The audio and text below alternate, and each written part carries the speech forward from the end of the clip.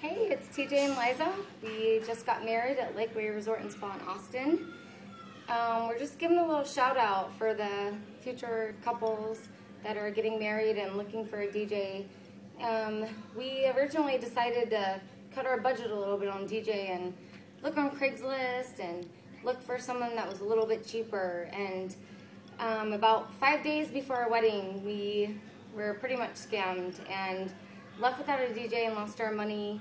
Um, our photographer, Eric Huger, um, suggested RJ DJ, and um, so we came in at the last minute, one week before our wedding, and here we are, right after our wedding.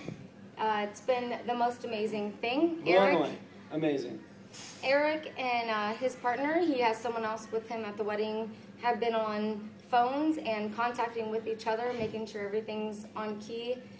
My friends are from Chicago and have had $50,000 weddings, and they are here tonight and say that it is honestly the best time and the best music and the best dancing and everything that they've ever had.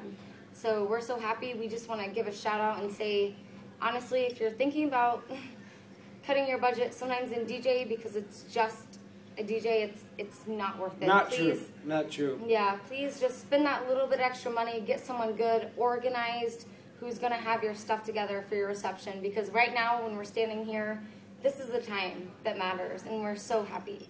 RJ was incredibly professional. Answered my phone every single time that I called him. Was on point. Loved it. Great. And uh, good luck to any of you out there. Cool. Thank you both. Thank you.